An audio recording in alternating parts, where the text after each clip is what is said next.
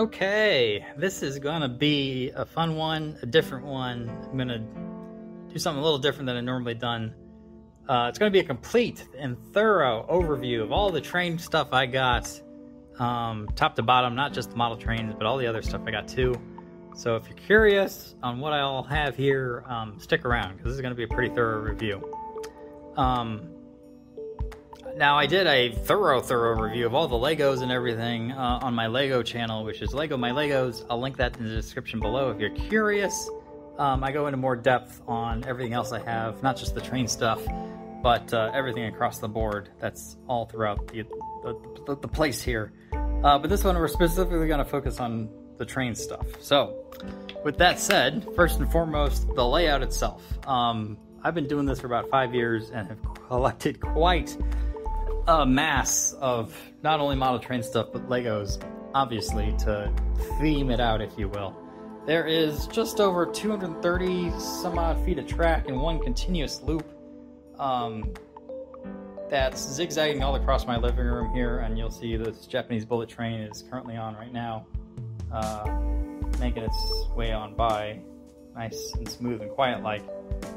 But uh, so obviously it starts over here kind of and then comes this way, goes into the TV, back up and around the Disney castle on this way, and then it goes through this triple reverse loop, back and forth, zigzagging back over here and this way, coming on back and then back around uh, the back and then up and out, all the way across um, behind the couch, and then down to, well, over here where I got this tiny little town that's not made of Legos, but these are the Lippy full sets.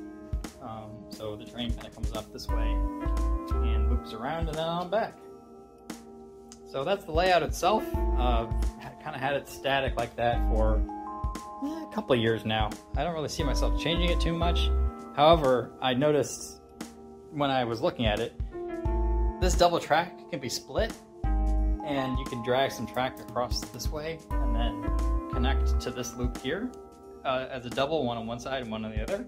And then you'll have two independent, distinct loops going around the living room as well, which I do on occasion uh, if I want to change things up and make it, uh, you know, a little bit different and uh, able to run two trains at once because I don't have DCC. It's all DC setup because I don't want to, I just don't want to get fancy with it. I just want to run a train here and there and just be able to the goal was always, always to sit down on the couch, watch a movie, and have a train run by, nice and quiet like, um, which it does currently whenever it comes by. Uh, but obviously, you can look over this way, and it's running over there. You'll see it in the background, and because it zigzags back and forth so much, it's it's almost constantly in your view until it leaves and then comes back sometime later. Um, you know, to view view uh, view when it comes back. But no matter, um, that's the dream, and it seems to be a reality. But there's more train stuff to be had. For example, uh, hopefully it's not all backlit, but up here, I randomly found this at an estate sale. It is a train pin, crazy, super long uh, picture of the uh, 1996 Atlanta Olympic pins was a pretty good price and a very unique item, so I couldn't pass that up and stuck it up there um, for safekeeping. Even though when I first put it up, it actually crashed like a couple months later on down. And uh, luckily, I was building the Hogwarts Castle at the time over here. Um, and it's a pretty big box, and I set it up on top of the London Bridge for reference.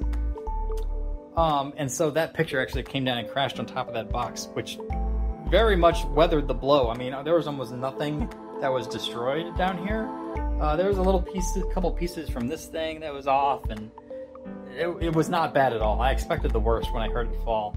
And if that box was not on top of the London Bridge, the London Bridge would have been obliterated. but luckily it was not, and, and everything was just still all good. Back in the back here, I do have a UP Lego train that I put together fairly recently. Uh, if you're curious, you can again check out my Lego channel because I think that's where the video lives on the Lego My Legos channel. Uh, power box, this is where my power box lives for the train set. In fact, I had an old power box uh, that was I thought was like going bad, so I got this new one, and I tell you what, it works a lot better than that other one. Because before, like on these lights, you can see this train has lights, and the lights would flicker like mad, uh, even fa at faster speeds than this.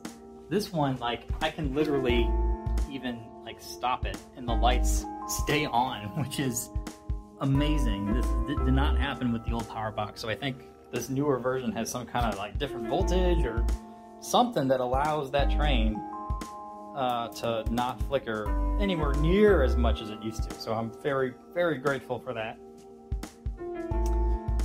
Uh, a couple sets I got for trains is this little guy right here. Uh, nothing too special, it's just something I put together one day and it's living there for now until I find something better. You'll also see throughout the layout, I have uh, Thomas trains, so there's Percy right there. There's some other thing in the back back there. I don't know what that is because I think it or she or he, whatever it is, came about after I grew up and stopped watching Thomas. Because um, I don't remember that, that one from a kid. I don't remember his name uh, at all. But I, I want to say it's a girl, I, but I could be wrong. James lives over here. He's not my favorite model. For some reason, he just looks off uh, compared to like Percy, which is like bang on perfect. And then of course over here you have the one and only Thomas himself, which again looks really good. Uh,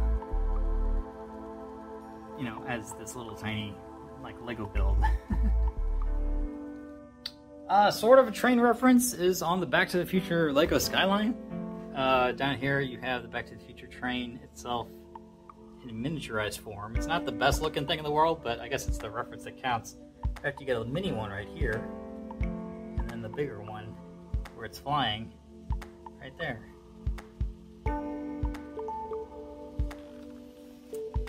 Uh, up over this way, across the living room, into the kitchen, I put together this guy at some point ago. It's like a 3D puzzle build. All the good little gears work. So like when you spin the key or the or the there's like a wind up thing that you can do and then all the gears and wheels spin. It's, it looks really good in motion. But I just kind of stuck it up there for now.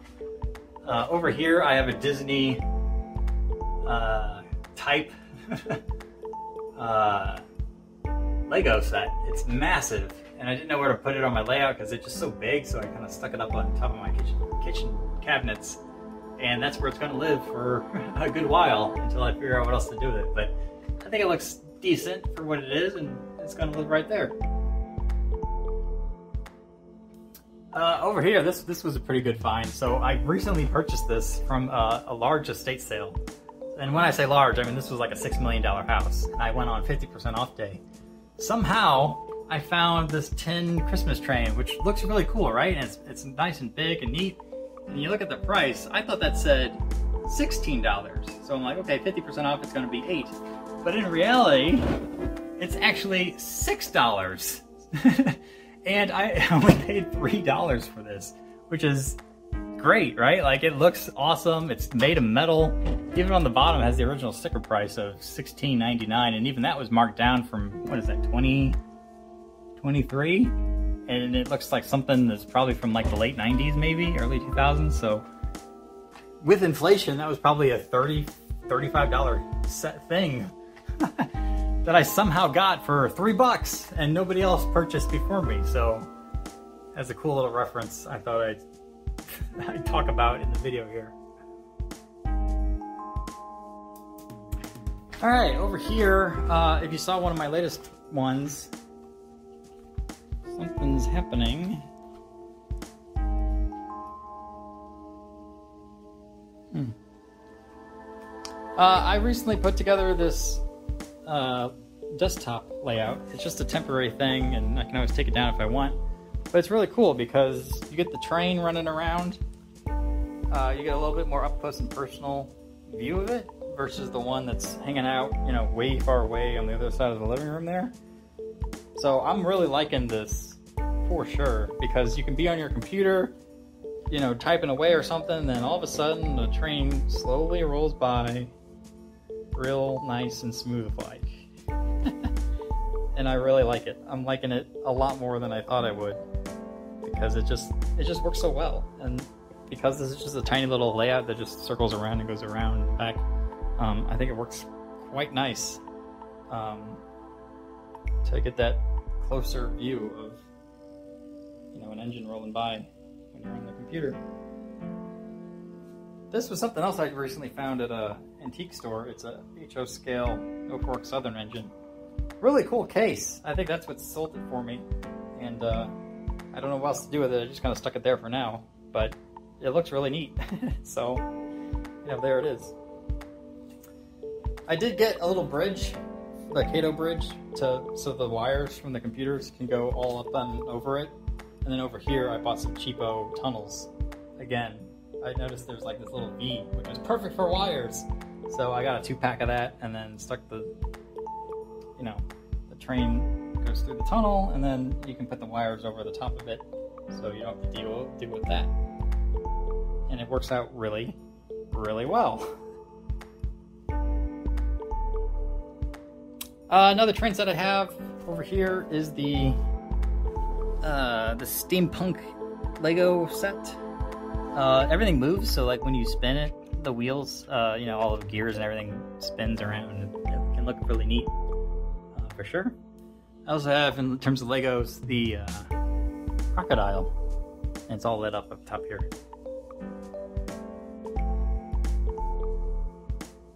That kind of brings me to my actual model train display cases. So, uh, if you notice, I want to look crazy and have quite a bit but it looks really good, all stacked together like this. Um, on this side, you'll see all the Europeans engines. I kind of try to do this in by region, but obviously like this guy's a, a, an American one. I just don't have the space for it, so it's got to cross over. But for the most part, you got American or Europeans over here. You got American engines up top over here. And then the last one over here is uh, the Japanese sets. These are all on custom made Lego display cases. So if you notice, these were like the first Legos I, I bought actually before I bought any of the scenery ones. Uh, I, got, I custom designed these out of Legos because I needed a display case for this, for the, the case itself to put the trains on. I'm like, you know what? I bet I can design one out of Lego. So I, I, I designed it using their Lego designer and then bought all the pieces I needed online from the Lego website and it worked out really, really well. Um, you can see how they stack up and it just it just works out phenomenally. Now all the ones that are colored I actually used my childhood Legos for. Um, all the ones in black I bought from lego.com so like you'll see this one is all multicolored. Those are pieces I stole from my parents' living room or my parents' basement uh, in a big tub I had from all the Legos as a kid. Um, but in terms of other things I have, like here's some really old school 80s style uh, coach cars, they, they have lights in them too, or at least some of them do. I think half of them have lights. The quality is just off the chain, and I really love these so much. Um, they look really, really good, and they complement a lot of the other things I have. Uh, I got some other passenger cars, some large freight cars down here, and then down below is even more um, like oriented for express cars. You got some other old school German ones and then these Arnold ones down here, which are real nice, and then I keep a lot of other randos down at the bottom with some cases. In the American case, you have some more freight cars in the middle here. So there's a look at all that. And then down below, more passenger cars, UP, excursion cars, and some really cool purple ones from Germany. Rheingolds. Uh, they have lights in them too. Over here in the Japanese case, you're going to get a lot more Japanese engines, uh, Japanese bullet trains, Shikishima, another bullet train. So that's that case. I, I eventually want to get rid of probably these guys and make room for the Twilight Express, which I just probably right before this one. Uh, down here are some more Japanese uh, cars and passenger cars and whatnot. So, yeah, that's that's quite a lot of model trains, all N scale. I love it. It turned out really nice. I love the look. I love the display case. It's just, it's, you know, hashtag life goals. This is, this is, you know, a goal. I don't know if it was a goal, but it was a desire in my youth. And when, you know, five year old me would freak out if he knew that I was going to have this stuff, you know, in the, in the future. and uh, it, it turned out real good as I may have mentioned too in one of my more recent videos, is I'm starting a Thomas wall. So if I zoom out a little bit. So this is gonna be weird and awesome Thomas art, and you can already see what I got. There's a hand-painted Sir Topham Hatt that I got from some dude who, who made it in England. Uh, shipped it over here, bought it on Etsy for, I think it was only 20 bucks, so it's totally worth it. But yeah, I'm really liking that.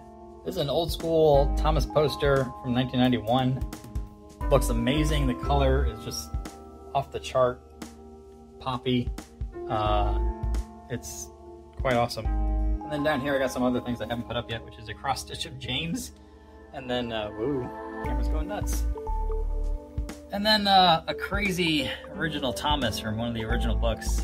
that's quite the face, and uh, it's going to be framed and popped up here at some point uh, whenever I get around to that. Okay, almost done. Got a few more things to show. Uh, we'll start over here on this wall. This is the Ertl Thomas the Tank Engine.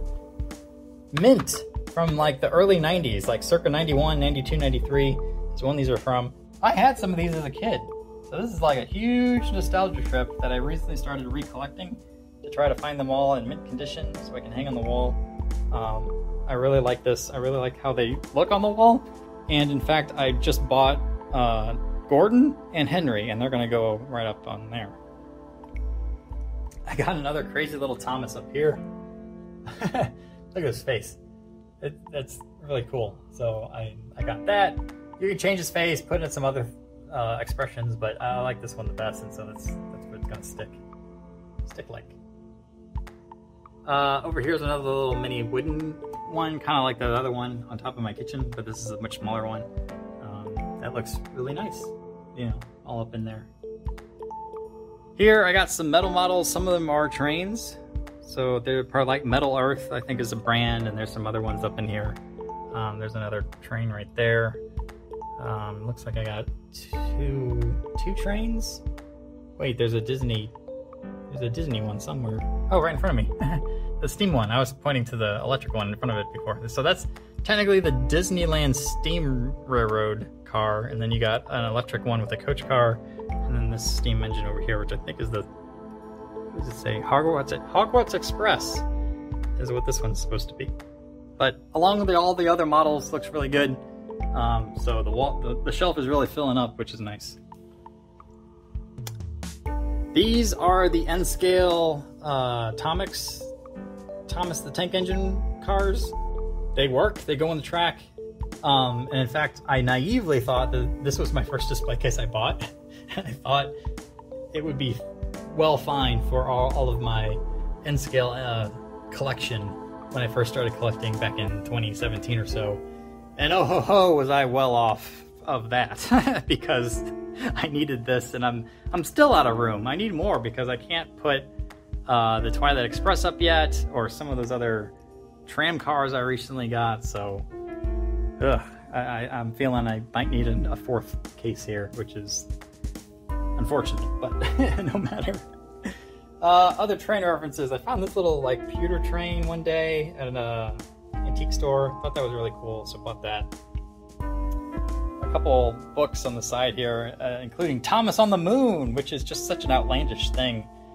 But it's false advertising because if you actually read the book, um, he does not go to the moon. He goes to like a science fair and like stands in front of like a green screen that's like supposed to be like he's on the moon. And I'm like, that's extremely misleading. I really like the idea of Thomas blasting off in a rocket and landing on the moon and putting around up there uh, like a boss, because that would have been phenomenal. That would have been an amazing story. But no, they cheaped out, and he just goes to some dumb top, uh, science fair that some high school kids put on. Ugh, real disappointing. Uh, down here is another Thomas I got. Thomas the Bus, which is, again, part of that weird and Thomas, weird and awesome Thomas collection I'm starting up. Uh, it's kind of crazy that he's in bus format. Who knew? Uh, over here is a tiny little Ertl. Um, I actually had this as a kid. This Percy's face has fallen off long ago, but um, it's you know over 30 years old now, and is part of these same kind of sets, diecast and all. And I recently discovered him when I went home digging through some Lego boxes.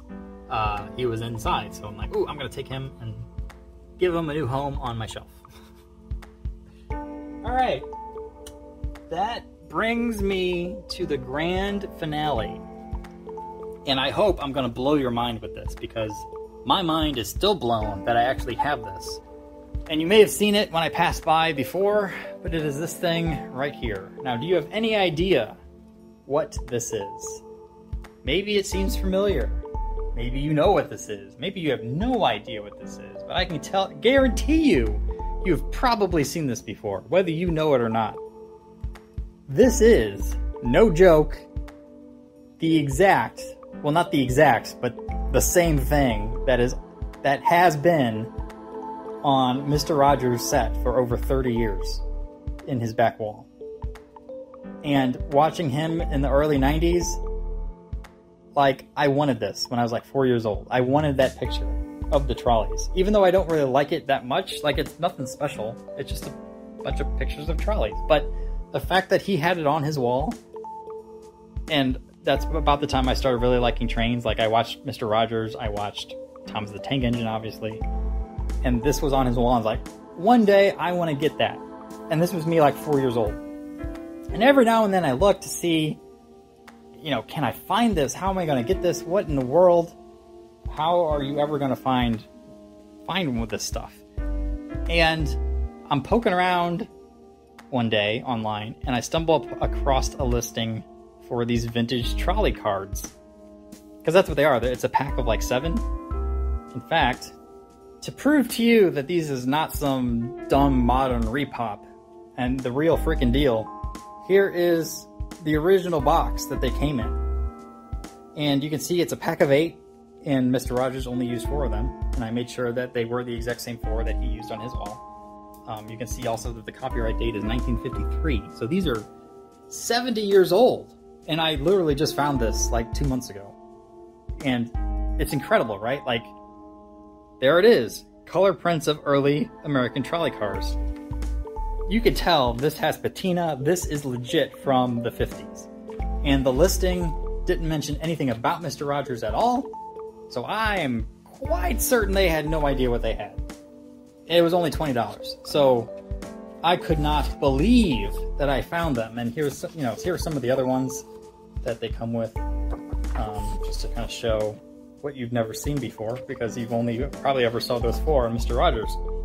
But uh, yeah, Un- it, it, blows my mind that I was able to find this. Um, so of course, when I did get them, I took them up and got them custom framed into a frame as close as I could find, like the one on Mr. Rogers.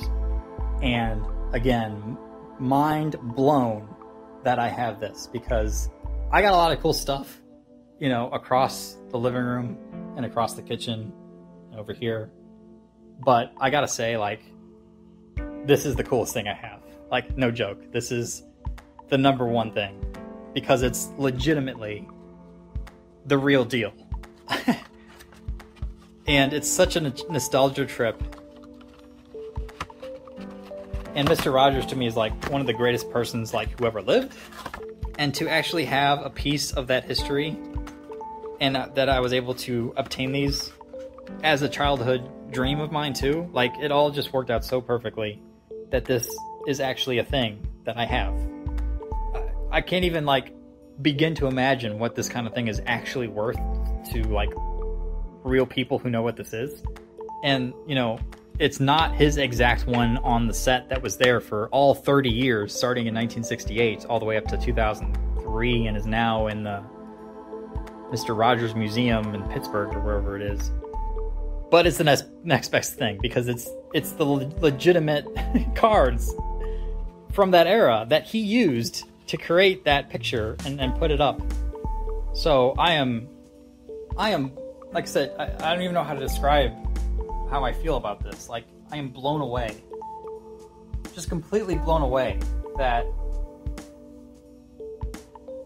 I, I have. Because how many of these have survived even? 70 years. They're just pieces of paper. It's incredible. Like, how many of these could possibly, A, to even be printed and sold to begin with? And then how many of those have survived all this time? So that one day, you know, I could stumble upon it 30 years after looking, you know, from a kid and and find it exactly exactly exactly what he has and had on his show.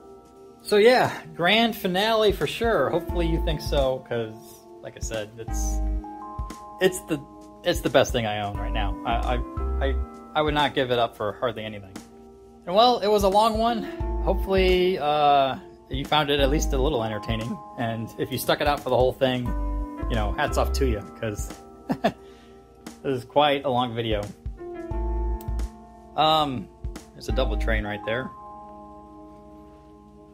like I said, hopefully you enjoyed, maybe even a little inspired by what I've been able to do here.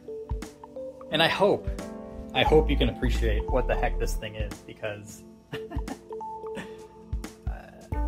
I'm, I'll say it again. I'm blown away that I actually have this and displayed and framed. So I'll cut it off there. I probably talked way, way too much. like I said, hopefully you found it at least a little exciting and entertaining. But stay tuned because there's always more around the corner. And uh, as you see in my display case, there's a lot of trains here and a lot of stuff I have yet to even touch as part of a review. So the plan is to get to them eventually. So one day, uh, they'll all be done. but for now, I'm going to end this one here and just hope you enjoyed and stay tuned for, of course, more.